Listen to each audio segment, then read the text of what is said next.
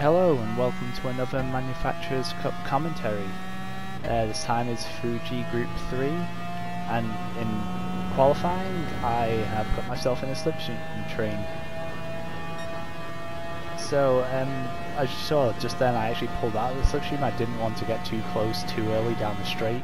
I wanted a bit of a gap so I could actually take advantage of the slipstream because if you're too close then if you catch kind of negating any gains that you're going to get. Through the first corner I had a fairly good run out of it. I used the um, 100 marker there as a kind of braking marker, get turn in perfectly there. I had trouble through this corner, the McLaren just really doesn't want to turn through here, just, so I am two or three miles an hour slower than most people. I completely missed the apex there and lose myself easily a tenth through that corner. That, that's the part of the track where I was struggling the most. Here, there's not a clear brake marker that I, I had, so I, ha I kind of braked after the um, the 150 board, I think it was. Here, I just tried to keep it tight and stay as smooth as possible. I didn't like running as wide as other people through this section, but here I kind of messed up and I didn't really get a good run through that corner, so I cost myself another tenth, tenth or two there. But I do get a good run out of the final corner and having the slipstream now down to the start finish line and having the most powerful car easily gains me back a lot of the time I just lost. And to start with I have a pretty good uh, bang for that.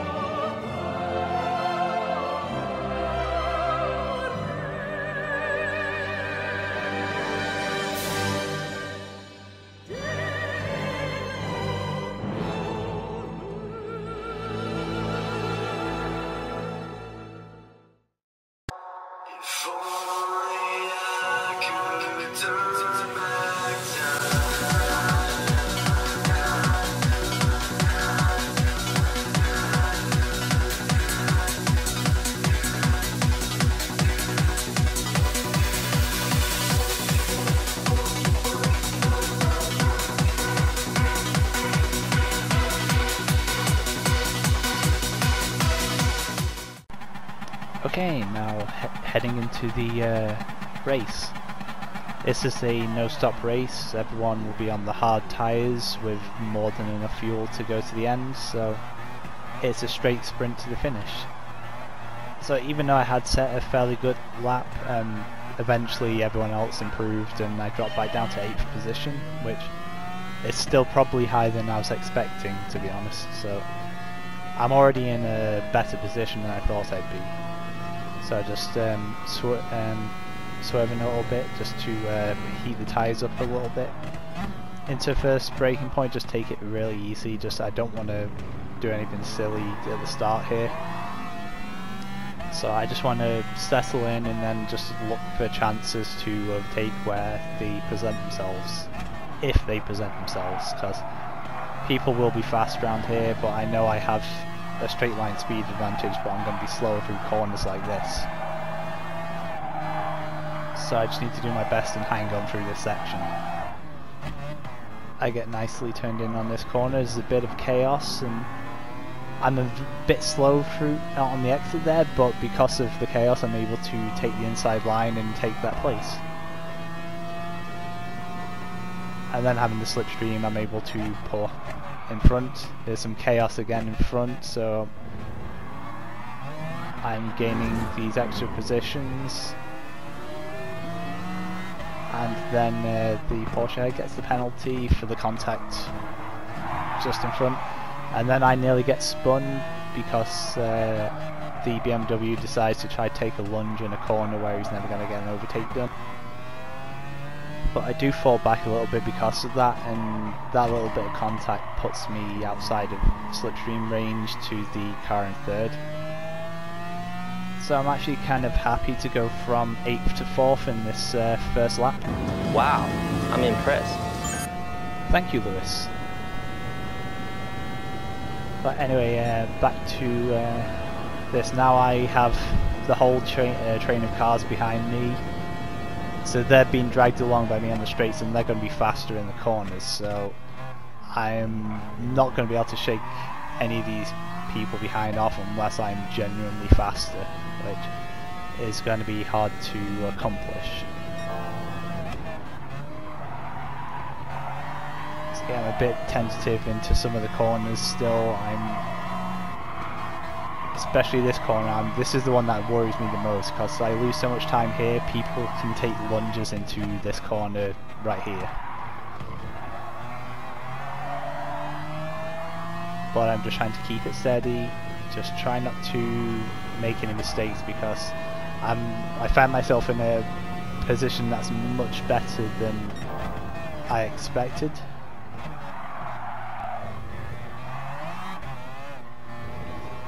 again keeping it nice steady through the uh, chicane here.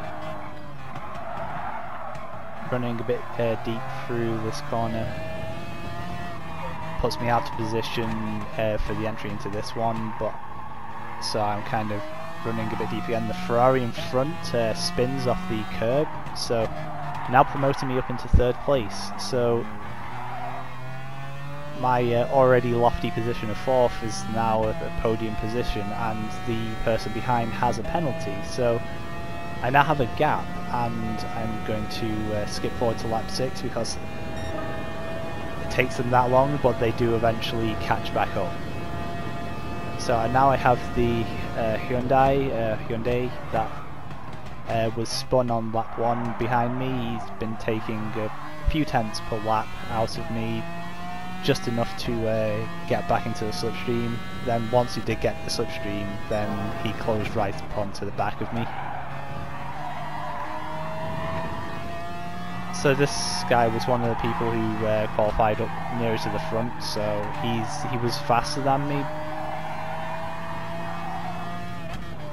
So I knew I was going to have trouble keeping him behind, but I was confident that, you know, as long as he raced somewhat cleanly, and I, I could I could defend for a loss of the race and keeping behind.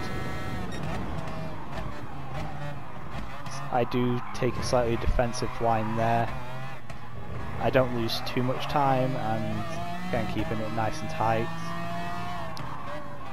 Being defensive, I am taking a tighter line than I would normally would here so they don't have a chance to dive up the inside. So, But again, keeping him on the outside of these corners so he doesn't have a chance to go uh, dive up the inside. Again, tighter line. He's on the outside, but it does mean he gets a better run out of the corner. So right now I know he's going to take, take a dive into uh, turn one. So I I do take the uh, defensive line it's not something I do a lot of, so I was always intending to go back. I was wanting him to be on the outside uh, for the corner, but he switches across and then outbrakes himself, so I go for the cutback and I retake the position.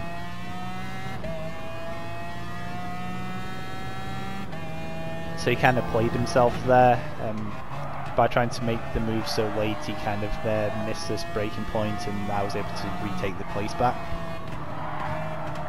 again you can see I'm struggling to keep a gap here and he gets a better run through the corner and takes the lunge so he hits into the side of me and I get a penalty for God knows what reason. Because he was so impatient just to make any move at any chance he could get. Uh, the way a lot of people are, they just uh, they they see a chance, they have to go for it straight away. They don't think about time that they could lose. So he went for the first move in turn one, lost time, and then went for the move again through that corner. It's just just diving at people at every chance isn't the best way to race. You gotta think smart.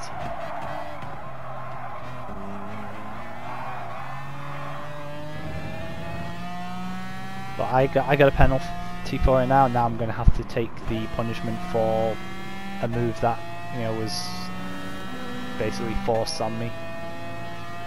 So try to get back into the slipstream as early as possible and now with the uh, BMW trying to come past me I have I have the slipstream and get, getting up to speed so I'm able to just about hold that position so so I didn't lose too much considering but still I'm in a low position than I uh, possibly could have been at this moment. So now I'm thinking, right, we just need to um, keep the slipstream to these cars in front. Just don't want anything stupid to happen. And literally, as soon as I'm thinking that, the BMW takes a dive on me in the same corner,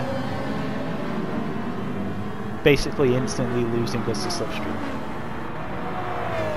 Again, just this type of uh, racing, it's like you need to keep the slipstream to these faster cars, otherwise you have basically just messed up your own race, and he's just instantly done that for us. So now we're outside of slipstream range and having to uh, battle now and lose time where I could I could genuinely catch up to these few cars in front if uh, I can keep the slipstream which would keep him in the race. But here goes, he decides to take a lunge into the final corner. Because overtaking the fastest car in a straight line into the final corner leading onto a very long straight. Is going to keep you in front. At this point I'm actually shouting at my screen, what the hell are you doing, what did you think would happen? So I go back past him, uh, and then he decides to take a dive back and I just cut straight back through and have the position again. And now slipstream is gone forever and it's pretty much going to be impossible to catch with people fighting like that this is what uh, the title of the video is no racecraft it's like people are not making smart decisions they're they're basically costing themselves as much as they're costing me with these stupid overtaking uh, chances, which are never going to work. It's like, why would you overtake the fastest car in a straight line leading on to the longest straight? It's always going to go back past. So now I'm under pressure from the uh, Audi. Now, again, another car that's much faster through the corners, but not fast on the straights. So I'm actually setting one of my faster laps this lap round. So even with um, the incident at first corner, and then the BMW takes the same move and goes for an overtake. It, it does hit into me again, but again, I am again shouting at my screen. You literally just saw this the last lap. What do you think is going to happen? And as you can see, I am basically back through at the start finish line with a lot of the straight still to go. If you're going to go for an overtake, you need to do it in a smart place. You can't just overtake somebody in a position where they're just going to go straight back past you. And as well as that, it's like all the time that I keep losing with these uh, position changes. So there's pretty much no way I'm catching the um, front cars now because my tyre wear generally is the worst um, in the whole field here. Checking the end of the uh, at the end of the race, my tyres were the worst pretty much in the whole field apart from one but pretty much like uh, third lap in a row, fourth lap in a row, I got hit into that corner out of the uh, right-hander. So I'm getting a bit frustrated at this point, and um, so I saw a really good position with being in third, and then just for things just to go wrong with one person hitting me and giving me a penalty, it just started a chain reaction. But at this point now, the uh, the group starts really squabbling amongst themselves and uh, changing positions.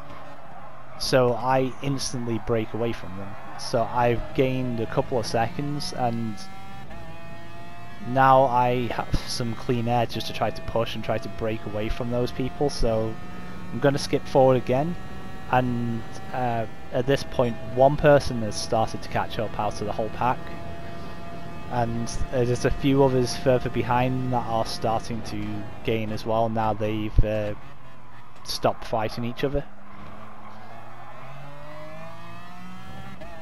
So now this is all a fight for position and like my tyre wear has caused me to drop back a bit further from the cars in front. But my pace was actually fairly good. I was setting some fast, faster lap times, um, but it just wasn't quite on the uh, on the pace of some of the other cars around me. So like I was in the I was doing like 40.2s whereas some of the other cars like just in front were doing like 39 sixes, 39 fours.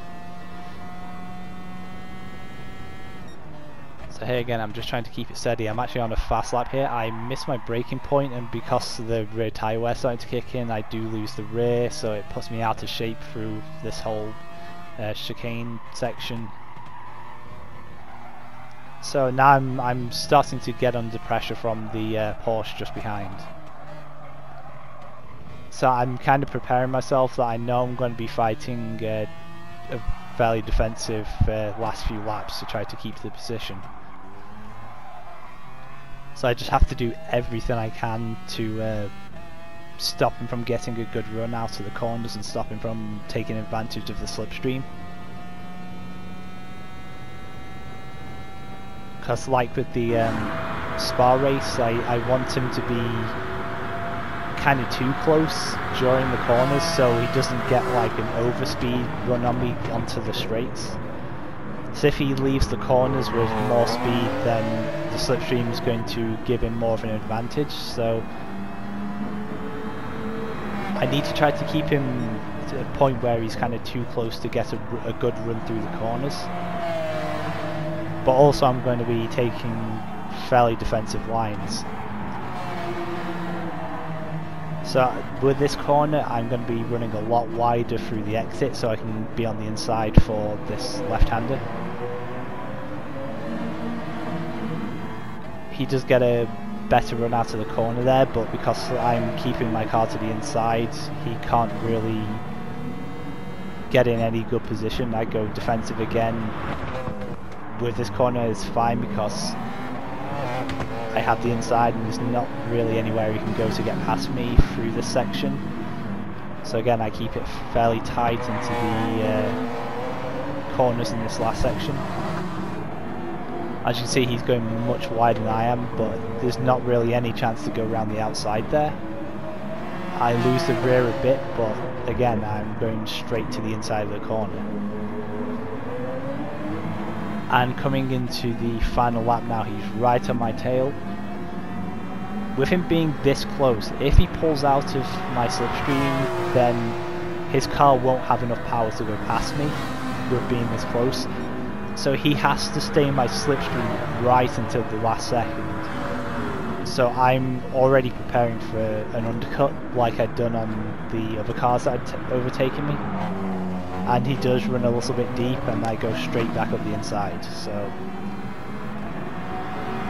part one of uh, this defense done. Now I need to survive this long right hander again I will I'll be trying to keep it tight through the right hander then run wide on the exit so I have the inside for the left hander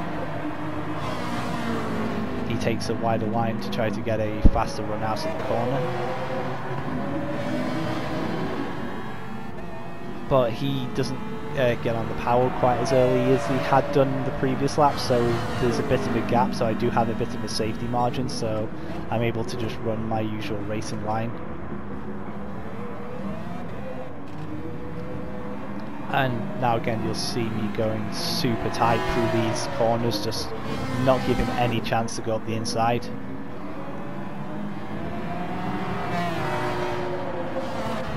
Well, he was thinking about going up the inside there, but because I was so tight, he had to uh, change to go to the outside. And I, I take the most tight line I possibly could through this final corner.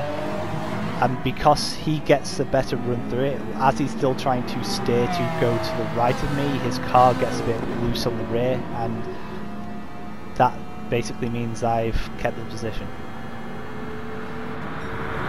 So in total, I had a I had a good race. Eh? I I was definitely much closer to the pace than I thought I would have been, but it's messed up by people making stupid moves at the, the wrong times, and people need to learn to race smarter. Otherwise, yeah, a lot of people won't get anywhere.